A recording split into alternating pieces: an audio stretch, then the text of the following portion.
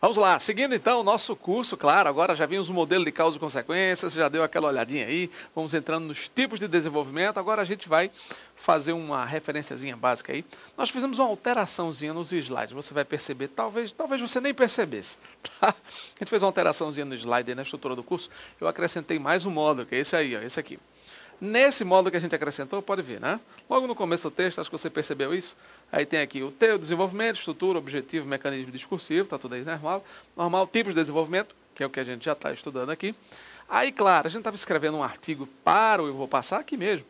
E a gente percebeu que é um conteúdo que vale a pena aparecer também nas nossas gravações. Então a gente fez uma inversão de fluxo aí e eu acrescentei mais um tópico aí para a gente estudar aí e discutir um pouco mais, né? Os artigos, eles podem até ilustrar os conteúdos, mostrar e tal, mas a videoaula eu acho que ela é mais dinâmica, né? ela é mais dinâmica nesse contexto porque a gente discute tópico a tópico, a gente conversa e a partir daí, lógico, fica mais fácil de você perceber um pouco algumas conduções bem legais aí na produção do seu texto. Acrescentei esse tópico aí, né, que você está observando. Defeitos de argumentação, tá vendo aí? Pois é, vamos lá. Vamos seguir então Vimos causa e consequência, vamos seguir de onde paramos e avançando aí até esse tópico novinho aí. Beleza? Vamos lá, acompanha aí. Olha só. Mais uma estrutura, já fizemos a alteração do slide aqui. Aí vamos lá para o slide 23. Não, 24, pronto. 23 foi causa e consequência, foi exatamente onde nós paramos. Né? Hoje um novo dia de gravações, então vamos lá. O diálogo já vimos, entre pai e filho, causa e consequência. Belezinha. Agora, vamos lá. Vamos seguir então. Quarto modelo, quarto modelo nosso aí do tipo de desenvolvimento, nova estratégia agora com a ressalva. Utilizando a ferramenta da ressalva. Vamos dar uma sacada aí? Olha só. Consiste em mostrar que se reconhece, em parte, a força de um argumento contrário, procurando, porém, minimizá-lo. Essa maneira de argumentar tem a grande vantagem de mostrar que o enunciador, além de não ser um radical, conhece bem todos os aspectos do problema. Quando você fala em ressalva, óbvio, né? É aquela coisa que você vai destacar apesar de.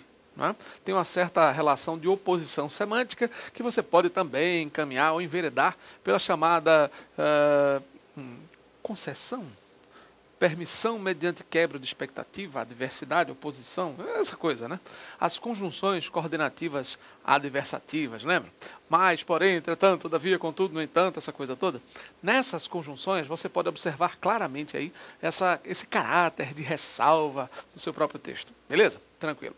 Além dessa questão da ressalva, é importante dizer o seguinte, ó, ele é um cara legal, mas quando você diz, pô, ele é um cara legal, mas tem lá as suas complicações. Entenda, você reconhece que ele é um cara legal, não é verdade? Pô, ele é um cara muito gente fina, muito gente boa, mas é meio complicado na relação com, sei lá, com alguns amigos. Então, é meio complicado em relação ao estudo. Estou chutando aí, tá certo? Você que está acompanhando, só para você compreender, do ponto de vista prático, o que seria uma ressalva. Beleza? Ressalva é aquele senão, é aquele mas, apesar de qualquer coisa. Entendeu aí então? Entendeu mesmo? Como funciona essa relação aí de concessão e tal? Pois é, exatamente isso aí. A ressalva vai destacar alguma coisa, apesar de se que, né, apesar de se reconhecer uma outra característica. Então você reconhece, não, é legal, beleza, mas entende? Beleza. Vamos ver então como é que seria isso aí no argumento? Eu me recordo, por exemplo, de uma relação. Imagina que você tem aí uma redação sobre um tema polêmico. Imagina. Nessa redação de tema polêmico aí, você está lá, sei lá, o aborto. É, tá vendo aí? Pois é. Estão tentando aprovar esse negócio de novo aí, você já viu? Está acompanhando os jornais, o noticiário? Pois é. Está tramitando aí no Senado, no Congresso Nacional e tal. Tramitando de novo, estão tentando ajustar, alterar essa lei do aborto aí e tal.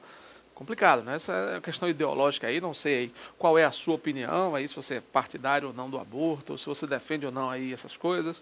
Independente da opinião, do ponto de vista, a briga está feia. Voltou agora, tá certo? Voltou. 2012 aí, de vento em popa. 2013 está avançando também aí. Daqui a pouco, 2014, 15, lá vai. Tá sempre nessa onda aí, nessa discussão. E vira e mexe, volta e meia, o pessoal retoma essa discussão de alguns temas polêmicos, né? Acho que vão querer também aí tentar discutir um pouco, ou reimplantar, reimplantar não, né? É, até certo ponto. Vão tentar trazer aí, ressuscitar, aspas, a pena de morte aqui no Brasil, né? de alguma forma, que lá na, na época da colônia o povo já matava por brincadeira, imagina, hein? Se resolverem discutir aí pena de morte, eutanásia, esses outros temas super polêmicos. Já pensou nesse negócio?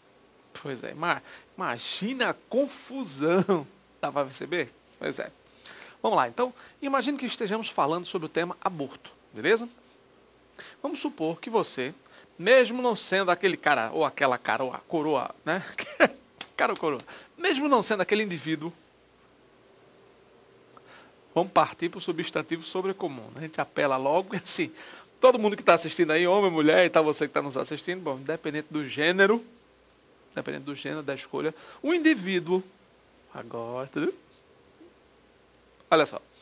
O indivíduo, supõe aí que ele seja, esse indivíduo seja uh, totalmente contrário ao aborto. Não é carola, não, tá? não é aquela coroinha de igreja, aquelas coisas, não, não tem nada disso, não. O cara é contrário. O ponto de vista do indivíduo, qualquer que seja ele, é contrário ao aborto, terminantemente contrário. Não, professor, mas veja, a gente vê muito isso em sala de aula. Acho que você percebe sempre aqueles alunos mais radicais, ou aqueles caras mais polêmicos. Né? Tem sala de aula. Professor, eu tenho uma dúvida aqui, eu discordo aquele negócio faz parte, mas quando a intervenção é construtiva, né?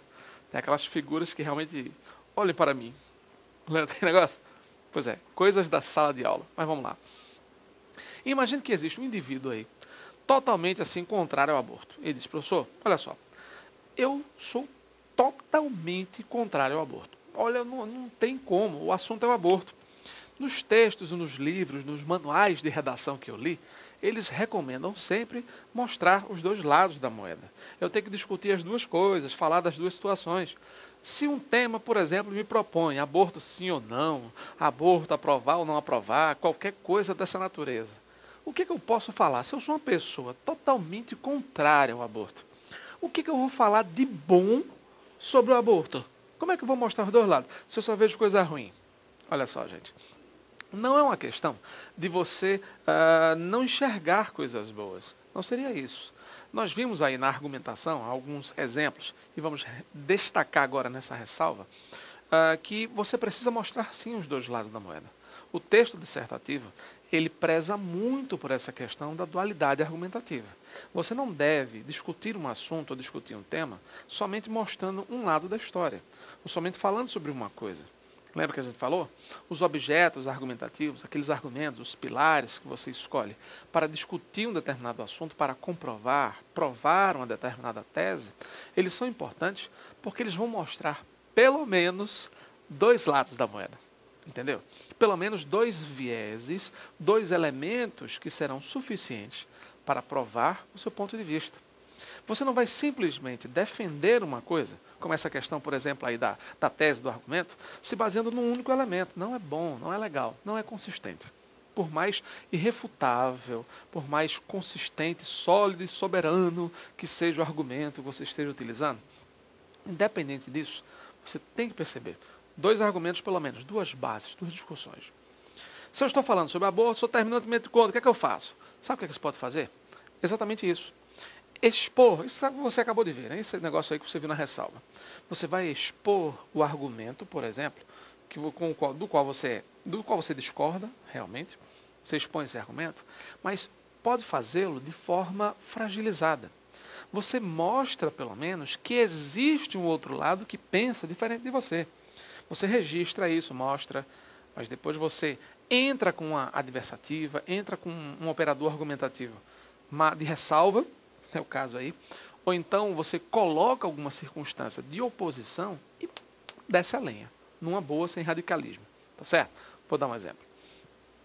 Ah, lembra daquela, daquele comecinho de introdução que a gente viu? No Brasil predominam duas convicções acerca do aborto. Aquele negócio da divisão, né? De um lado, aqueles que apoiam, não sei o que, do outro, lembra aquele negócio? De um lado, de outro, pronto.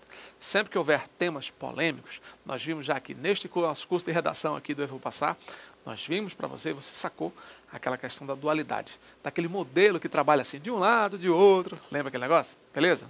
Pois é, então olha só. Quando você trabalhar, né?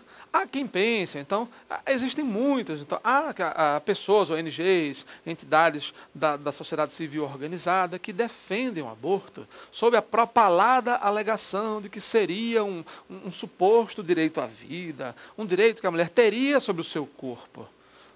Muitas vezes até tentam defender essa frágil alegação, entendeu? Tentam defender esse frágil ponto de vista sobre o aspecto e viés da saúde pública, como se isso efetivamente o fosse, apenas de saúde pública e não de educação do povo brasileiro.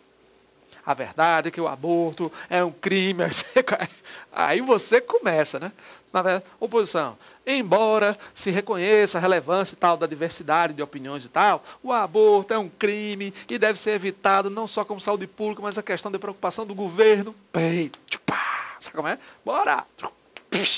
E aí, ó. É, que negócio. Aí você desce o chicote, desce a linha numa boa. Mas veja, mesmo que eu diga, existem instituições no Brasil, é, né, é, é ONGs, sei lá, e tal, entidades de defesa da mulher, qualquer coisa assim, movimentos feministas. Você pode mostrar, como argumentador, você tem o dever de alegar, de mostrar isso de forma sensata, serena, tranquila. Você mostra que existe. Agora, percebeu como eu mostrei? Eu utilizei, por exemplo, formas verbais de futuro do pretérito e tal, de imperfeito do subjuntivo, sempre trabalhando a ideia no contexto da hipótese, da possibilidade. Há entidades que afirmam tal coisa e tal, alegando que isso seria mais adequado se ocorresse tal coisa. Em verdade, entendeu? Seria, seria um direito da mulher, sob a suposta alegação que seria um direito da mulher, que ela se, se sentiria melhor, não sei o que e tal eu começo a utilizar a estrutura, a própria construção linguística, no, no, utilizando o futuro do pretérito, para que eu possa uh, trabalhar sempre no contexto de hipótese, mas a, própria forma como eu estou utilizando a linguagem, o próprio corretor já vai sacar isso. O corretor já vai olhar para o seu texto e vai perceber, ó, do jeito que esse cara está falando aqui, dá para ver, dá para ver logo que ele é contrário ao aborto, entendeu? Então você pode fazer isso. Essa é a grande sacada na ressalva, você supostamente mostra um argumento, mostra uma coisa uh, cumprindo o seu dever de argumentador, afinal de contas, você está analisando o problema, né? com base em um determinado ponto de vista, você está avaliando isso uh, de forma serena, plena, equilibrada. Não é isso? A dissertação não pode ser radical, mas ela pode ser inteligente. Entende essa diferença? Ela vai ser, ela vai trabalhar a argumentação de maneira mais inteligente. Então você vai abordar um ponto de vista e nessa abordagem você vai jogar com as palavras de tal modo a fragilizar o ponto de vista do qual você discorda e fortalecer o ponto de vista com o qual você concorda. Entendeu aí?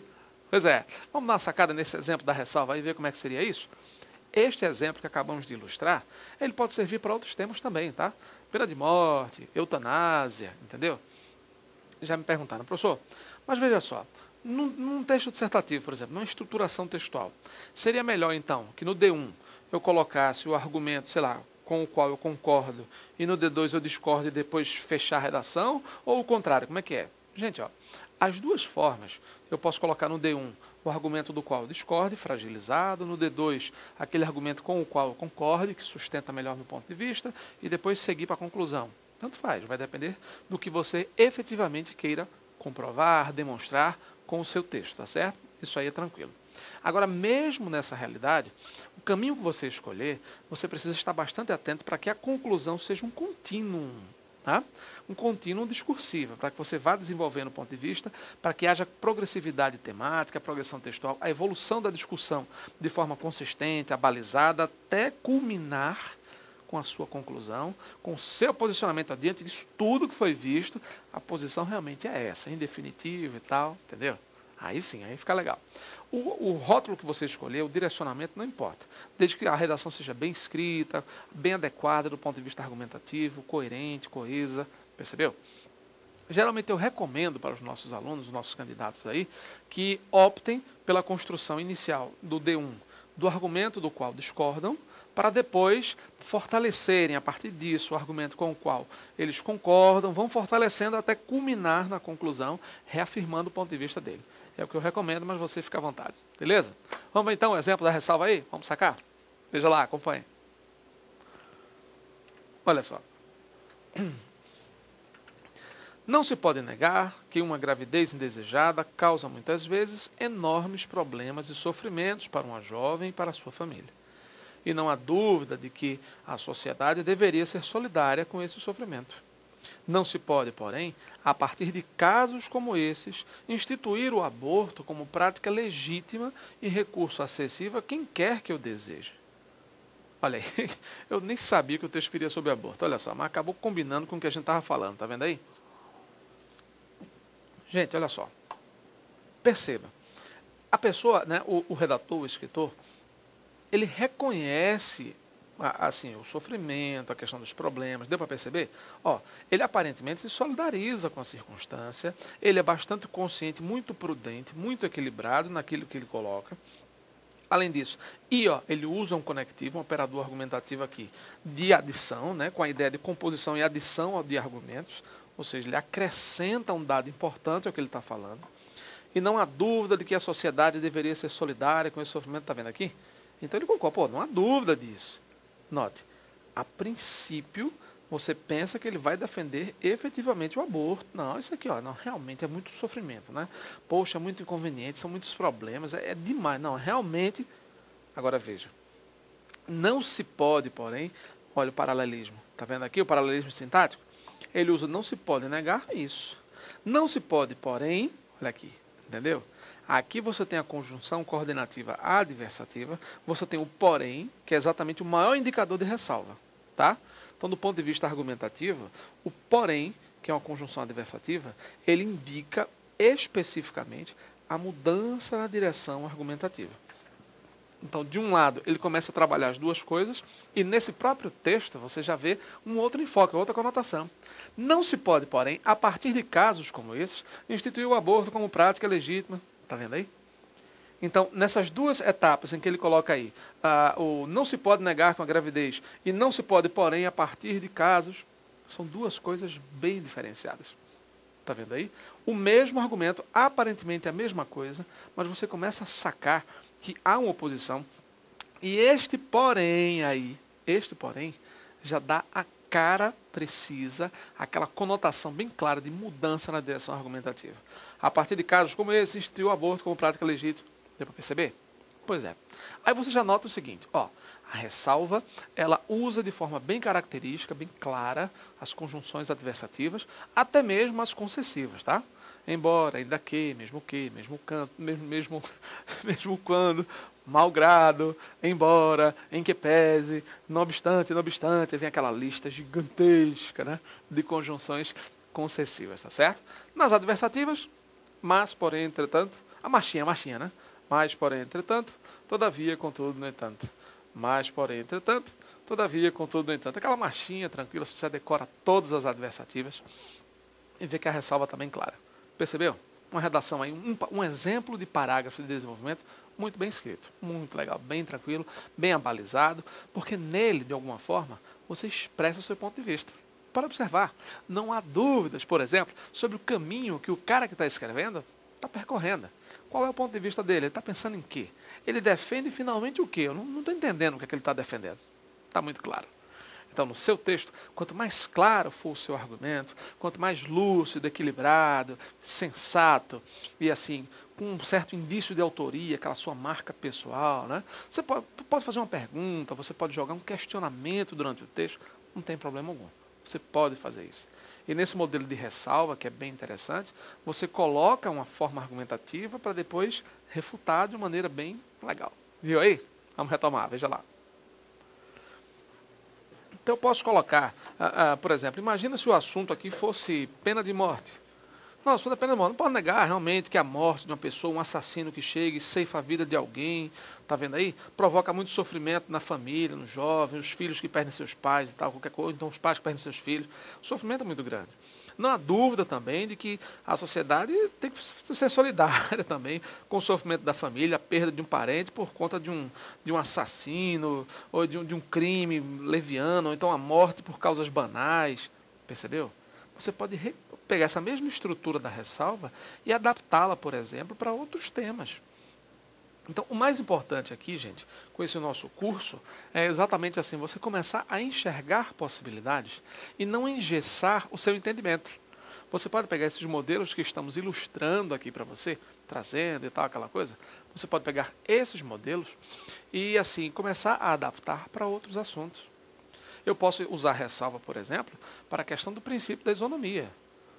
Deu para entender? Então, a crítica ao, ao, texto constitucional, texto, a questão da jurisprudência, é natural que um juiz ele tem que ser dotado de interpretação, de bom senso, de equilíbrio, ele tem certa liberdade para, para definir determinados casos específicos. Imagina, você discutindo a jurisprudência.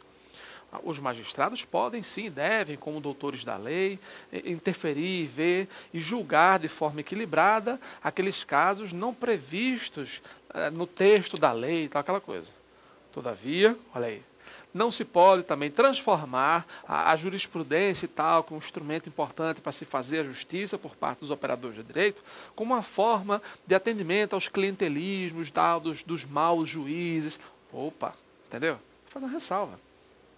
Então, no entanto, o que se deve evitar é que essas formas de jurisprudência criadas para atenuar um pouco, para atender e tal, isso é para que se faça justiça efetivamente, tarará, atenda a interesses pessoais e escusos de magistrados corruptos e tal. Opa! Entendeu a realidade? Pronto. Eu estou só ilustrando para você outras circunstâncias com outros dois assuntos, quaisquer que sejam eles, para que você possa perceber que dá para sacar isso. Você pode trabalhar o seu desenvolvimento com uma série de outras formas, uma série de outros vieses nesse contexto aí, porque você vai perceber que é possível dar mais coerência ao texto, é possível trabalhar todos esses modelos que estamos vendo. Não só de desenvolvimento agora, ressalva, causa e consequência, mas também os outros que vimos lá na introdução, tá lembrado? Aqueles modelos de introdução lá, declaração, oposição, alusão histórica, você pode adaptar para vários assuntos. Nosso objetivo aqui é fornecer para você subsídios, claro, para que você vá pegando, entendendo a ideia, sacando um pouco as coisas e ó, vá avançando nesse negócio. Vale a pena, é legal. Ok? Tranquilos? Vamos conhecer mais um tipo então? Tá craque já é ressalva? Tá craque mesmo ou não? Diga aí, deixa eu olhar, deixa eu olhar para você. Olha para mim, vá, olha nos meus olhos. Entendeu tudo? Beleza? Ok, então pronto. A gente sempre pergunta, lógico, o velho ninja finja? Tá ninja mesmo, tranquilo? Ok, muito bom. Então vamos seguir, vamos conhecer o próximo modelo aí, próxima etapa do desenvolvimento. Veja aí.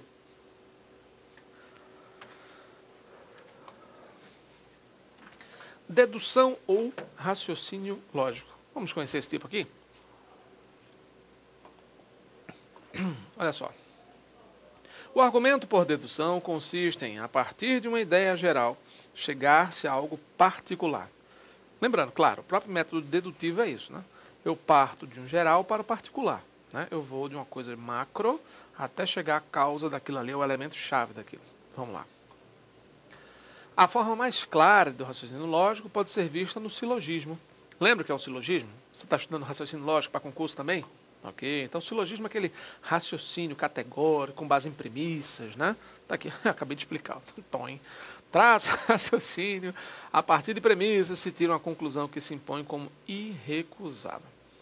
Claro que é importante que não se identifique aí a questão das, não se identifiquem as questões das falsas premissas, né? Eu não posso partir de premissas falsas para construir, lógico, um silogismo verdadeiro, não dá. Então, o silogismo verdadeiro é caracterizado por essa questão aí, ok? De duas premissas verdadeiras, a partir daí eu concluí direitinho. Então vamos lá, é uma conclusão como irrecusável. Tal é a lógica da conclusão que a única maneira de recusá-la é apontar a falsidade das duas, claro, ou pelo menos de uma das premissas. Se eu tiver duas premissas verdadeiras, claro, eu vou ter tudo como verdadeiro. Agora, se pelo menos uma delas for falsa, aí compromete tudo. Vamos dar uma sacada aí então? Como seria isso? Olha só. Todo ser humano tem direito à vida. Assevera o texto base da Constituição Federal Brasileira. Pega-se um elemento de citação direta, um fragmento, teoricamente aí, tá vendo? Devidamente aspeado, mas note que o parágrafo não vai ser simplesmente construído em torno disso. Esta frase é como se fosse um gancho, né? Percebeu? Alguns chamam até de gancho frio, cada um que fica nessa história aí, tá? Pega-se um gancho, ou seja, um ponto de partida, uma frase, um pensamento, alguma coisa, e parte-se dele para iniciar exatamente toda a discussão que vai construir a estrutura do desenvolvimento aí, tá? Todo ser humano tem direito à vida, assevera o texto base da Constituição Federal Brasileira. Ora, a partir do instante da concepção, todo feto já é um ser humano.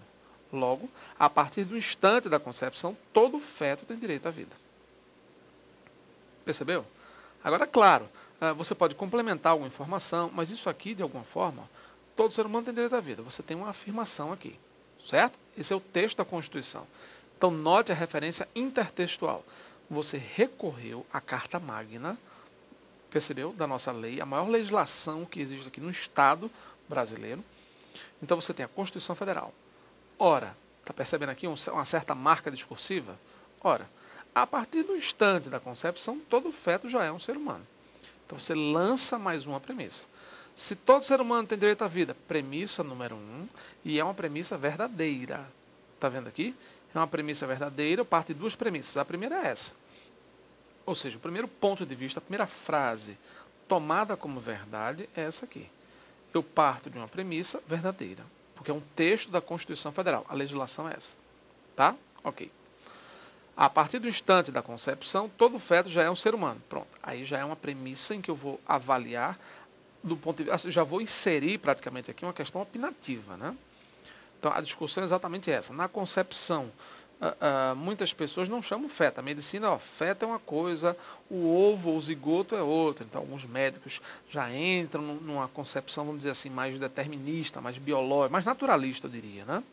Aquela coisa mais naturalista uh, do ponto de vista literário, literariamente falando, né? O naturalismo seco, cientificista, né? Não, mas na concepção eu tenho um ovo zigoto, eu não tenho feto ainda. O feto é só a partir da, sei lá, décima segunda semana, qualquer coisa assim, vamos supor, tá? Mas aqui, como você quer defender um ponto de vista, você pode dizer, ó, a partir do instante da concepção, todo feto já é um ser humano. Logo, a partir do instante da concepção, todo feto tem direito à vida. Tá vendo aí? É interessante, por exemplo, que você só reformule, ó a partir do instante da concepção, já é um ser humano. A partir do instante da concepção, é só a repetição disso aqui. A única ressalva que eu faria para essa sugestão dada pelo autor, a gente já reformulou um pouco esse começo aqui, mas eu reformularia ainda, estou vendo agora. Quando ele está explicando é que a gente percebe algumas lacunas. Né? A partir do então, no momento da concepção, todo feto, então, ó, percebeu? Então ele já está colocando aqui. A partir do instante da concepção, todo feto já é um ser humano. Logo, a partir do instante, todo feto tem direito à vida. Muito mais um reforço, né? Foi uma tentativa aí coesiva, entende? ele tentou simplesmente reafirmar, reforçar um pouco essa questão aí do direito à vida neste exato momento. Tá? Houve a repetição talvez até intencional, né? A partir do instante é um ser humano. Então, a partir do instante, desse instante da concepção, todo feto já tem direito à vida. Percebeu? Então, eu começo de uma dedução, de um raciocínio mais completo, todo ser humano tem, para depois partir de um único ser humano, ou seja, qualquer que seja ele, todo feto, qualquer que seja o feto, tá? Todo ser humano parte para todas as pessoas, sejam elas fetos, crianças, jovens, adultos, idosos, etc. E vou depois para um universo menor. Deu para perceber isso aí? Então, esse raciocínio lógico é interessante, pode ser uma ferramenta interessante aí para você trabalhar do ponto de vista argumentativo. É uma forma, claro, que você tem aí de fazer jogo uh, com a linguagem e você sabe. Nós já mencionamos lá atrás, lá no comecinho deste módulo aqui sobre o desenvolvimento. O raciocínio lógico é muito importante também para você quebrar aquela ideia do lugar comum. Lembra que a gente viu lá? Como combater, como fugir do lugar comum. Está lá atrás. Se você der uma pesquisada aí, der uma volta, uma retornada em alguns vídeos, já falamos sobre isso. Então, o raciocínio lógico ele pode ser consistente. E ele traz também uma coisa importante do ponto de vista de construção textual, porque ele sugere ao corretor da redação aí, que você tem uma certa, vamos dizer assim, uma certa consistência de raciocínio. Pô, esse cara é legal, ele, ele, ele usa a lógica, ele é um cara que raciocina, ó, mas veja, se tal coisa é assim, não seria mais fácil então dessa forma? Quando você trabalha o raciocínio lógico no seu texto, você o repleta de muita consistência e de coerência. Poxa, mas é, não, realmente eu não tinha parado para pensar nisso não. É, tem razão. Entendeu? Você convida o corretor da redação para começar a refletir especificamente e trazê-lo, né, claro, para o seu ponto de vista. Essa é a diferença. Sacou isso aí? Beleza? Então, ó, dedução e raciocínio lógico. Mais uma ferramenta importante, mais uma arma que você pode ter aí na manga, muito legal para avançar nas suas produções. Beleza? Tranquilos? É isso aí. Próxima aula, então, a gente segue avançando aí com o caso 6. Até lá.